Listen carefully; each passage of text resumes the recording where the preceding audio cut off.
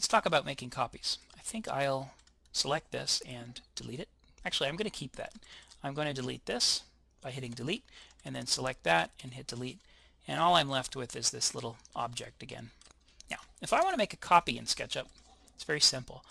Select that or not select it. We just talked about pre-selecting or not pre-selecting. In the case of things like single groups, it doesn't really matter what you do.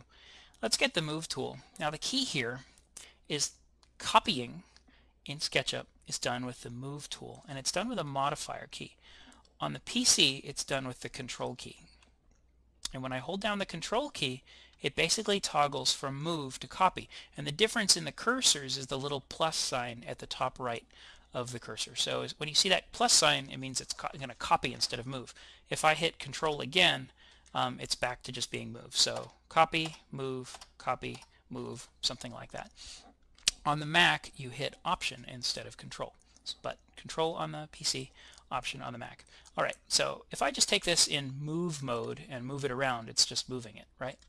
But if I hit the Control key to change it into copy mode and then grab this thing, what I'm doing is I'm moving away a copy. And that's really the only difference between copying in SketchUp and moving. You just hit the control key or option on a Mac to make a copy instead of moving, just like that. Now, let's say that we wanted to make multiple copies. And this is a little bit more complicated, but let's just delete this. Um, if you're a rote beginner, you might not want to pay attention now, but if you're uh, a little bit more experienced, then you might want to keep watching. What I'm going to do is I'm going to make a copy of this. I'm going to hold down, uh, I'm going to actually just tap Control to shift into copy mode from move mode, and then move a copy of this. Now let's say I want five more of those, or let's say five in addition to this first one that I did. Watch the VCB down here in the right hand corner. I'm going to type in 5 and then the letter X.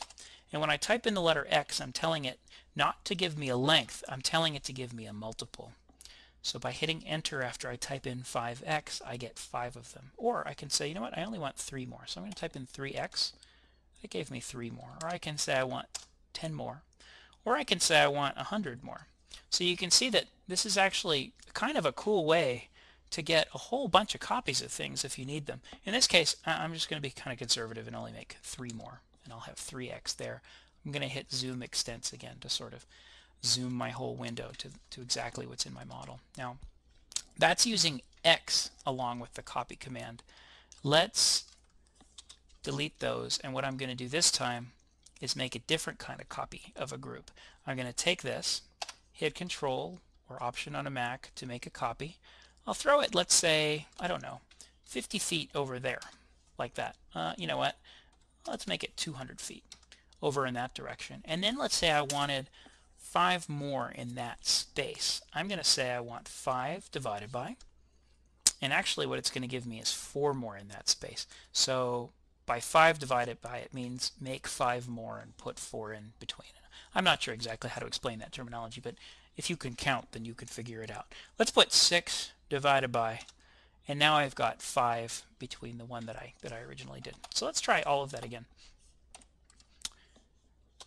I don't mean to beat a dead horse, but this is the sort of thing that lots of people ask about, so I thought I'd just demonstrate it exhaustively here. I'm going to make a copy, throw my copy right here and say 6x, enter to make 6 in that direction.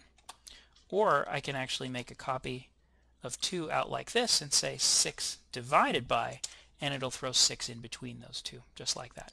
Okay. So that concludes the moving and copying like a champ video for Google SketchUp for Dummies.